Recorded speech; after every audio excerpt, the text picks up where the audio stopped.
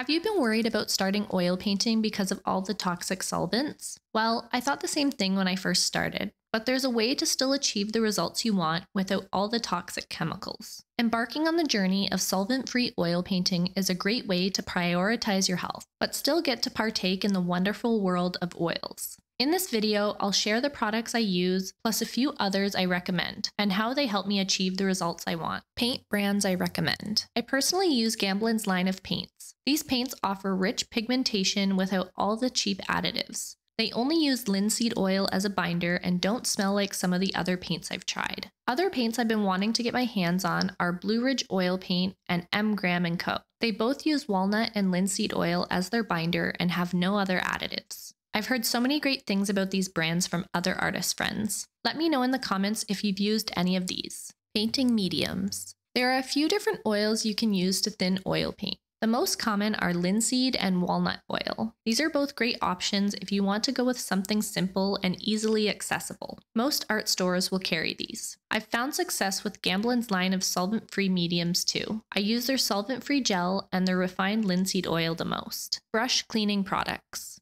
I start my routine with a bit of linseed oil and natural dish soap to get most of the pigment off. Then I use the Masters brush cleaner and preserver. It removes the rest of the paint residue while also conditioning the bristles of my brush. A follower also recently recommended the silicone makeup brush cleaning mat. It's such a good idea so the paint isn't touching your skin a bunch. It's my new favorite addition to my cleaning routine. Check out my detailed video linked in the description on how I clean my brushes from start to finish. Palette cleaning. I love using a glass palette to mix my paint, but if you don't clean it right away, the paint gets stuck on. Instead of solvents to clean my palette, I opt for this blade scraper tool from the hardware store. They come in many sized handles and shapes. I kept it simple by getting this small one with replaceable blades. It works even better if you add a little linseed oil on the dried paint before you scrape it too. Varnishing. Varnishing is the final touch that brings the painting to life. Natural Earth Paints provides a solvent-free solution for protecting and enhancing my artworks. This is a quick drying alcohol-based varnish. I find it does have a bit of a strong smell, but dries super quickly and leaves a beautiful gloss finish. It's the only varnish I've found that's non toxic locally, but if you have any other recommendations, leave them down in the comments. Have you tried solvent free oil painting before? Tune in to my weekly live stream every Wednesday to ask any questions you may have and paint along with me. I'll leave the info for the mini paint challenge in the description.